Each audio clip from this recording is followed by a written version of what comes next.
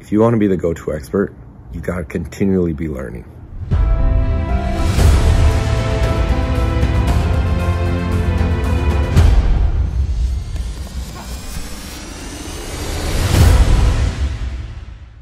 Hey, welcome back. Jeff Heggie, Daily Success Strategies. Thanks for being with me today. Today I had an opportunity to be a guest on a podcast. It's a show that I've been a guest before, but this time it was different because the host of this, James of Generation Ziegler, he had heard that Tammy Matheny and myself were had developed the Confident Athlete Program group membership site. And he wanted us to come on his show and talk more about that. And so Tammy and I had an opportunity to be on there today. And as we were talking about the different things that the Confident Athlete program teaches athletes and how it benefits them with their confidence, with their mental strength, all those things. He asked the questions about, you know, what do coaches get out of this?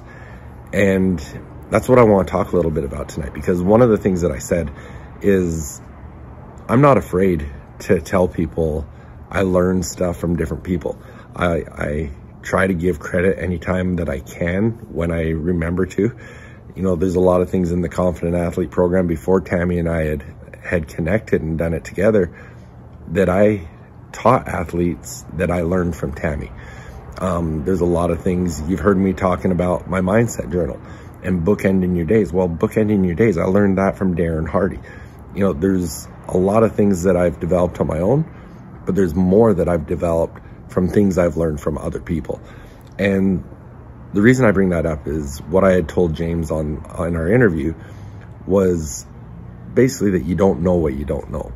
And as coaches, we can only benefit from continuing to learn from other people and expanding our knowledge, seeing different perspectives and all those sort of things. And so that's what I talked about is the benefit coaches have from learning from different coaches, learning different strategies and how they can implement those with their athletes. It's no different in anything we do.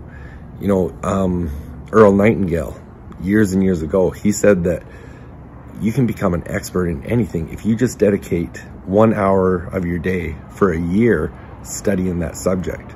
Even Dan Kennedy said that to become the expert marketer that he is known for, he did it through self-education. He trained himself through self-education to be that expert marketer. So by continuing to learn from other people, from coaches, from mentors, you're only becoming more of an expert.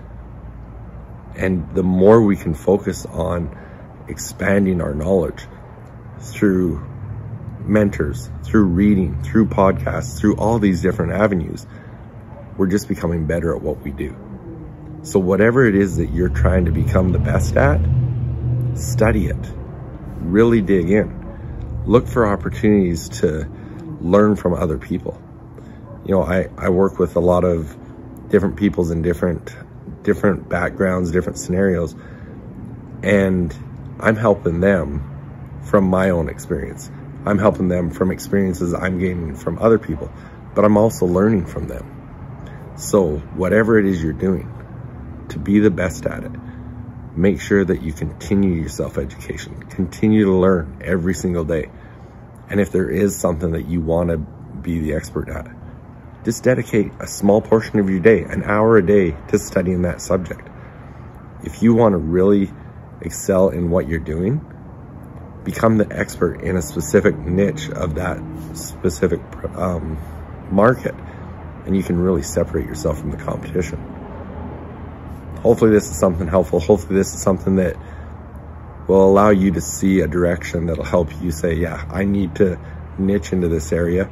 I need to be an expert or even more of an expert than I am now. And I'm going to dedicate some of my time every single day to do that. Thanks for being with me. Love to hear how this goes for you. Let me know. I'll be back tomorrow. Og Mandino said that the difference between those who have failed and those who have succeeded lies in the difference of their habits. Good habits are the keys to success. Many of the habits that'll bring you success in life are easy to do, but they're also easy not to do. I developed the Mindset Journal so that I could easily implement powerful success habits into my daily routine. The power of the Mindset Journal comes from knowing your top priorities and scheduling them into your day. The power of the reticular activating system and its relationship to your goals. Your mindset questions and your daily accountability. So if you want to implement some quick and effective success habits into your daily routine, go to jeffheggie.com slash mindset journal and get yours today. I've always known that accountability is important and I thought I was pretty good at it. But it wasn't until I started to work with an accountability coach that I realized the true impact of accountability. Hi, my name is Jeff Heggie and I want to tell you about our Jumpstart calls. These are quick 10 minute daily calls with other high achievers who are growing and transforming together. If you're serious about your goals and you want to achieve more in the next 90 days than you have in the past year, this is something that you really need to pay attention to. What you are doing is important, and this is a group that's here to help support you in all of your success. Our Jumpstart calls are designed to help you create and sustain consistent momentum in your life and in your business that will ensure that you hit your goals. It's easy to get tied up in the urgent things every day, but when you commit to focus on the important things, you can move mountains. You're going to grow with us.